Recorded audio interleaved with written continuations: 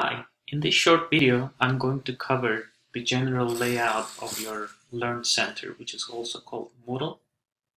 So basically once you log into your Learn Center using your credentials provided by CIU you will see four different sections. Okay, So the first section is the top section where you have a bunch of menus here. The second section is the middle column where you have general information and then you have the left section that lists all your courses, as well as the right section that lists useful, useful resources. So um, this is the basic layout. So in this video, I'm going to cover the top section um, briefly. So as you can see, you have a bunch of tabs over here. So basically when you click home, it takes you to the landing page in Moodle um, the same page as you see here. If you click my courses, it takes you to your dashboard over here. So my courses and the dashboard are the same things.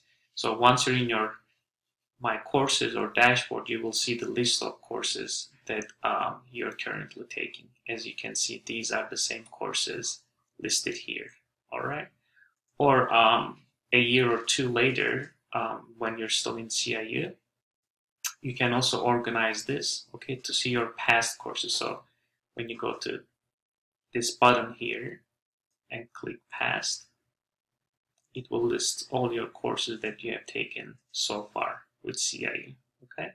Um, you can also organize this view with, with the last access or course name, or um, if you want to see a list of the courses instead of the cards, you can click here select list of the card and then it will list the courses.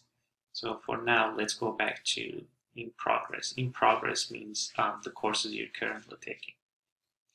So the student portal tab, um, as it's covered in the student orientation, you have access to your student portal. So when you click here, it takes you directly to your student portal. Okay, so once you log into your student portal, you, you can see the information um, regarding your account, your um, maybe if you're taking financial aid, you can see your financial aid information in the student portal. The Student Resource Center is a center for students um, with different resources. Okay, so once you're in the Student Resource Center, um, there are basically three sections, important resources, writing resources, and national resources uh, you can see what in each section you can find um, in this table. Okay, so documents and forms, for example, important resources. In writing resources sections, you have some templates uh, or you know like grammar guides, and in national resources, some useful organizations that you can benefit from. And when you go to library tab, you will see two sub-tabs here, LIRN, which is the CIU library, and the research page. When you click LIRN, it will take you to California Continental University's library, which is LIRN, where you can find journal articles or books and different resources.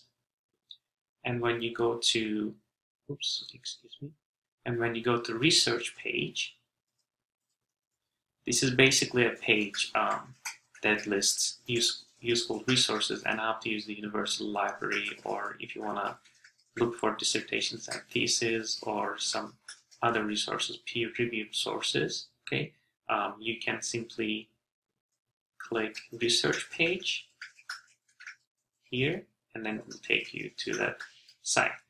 And finally, you have technical support.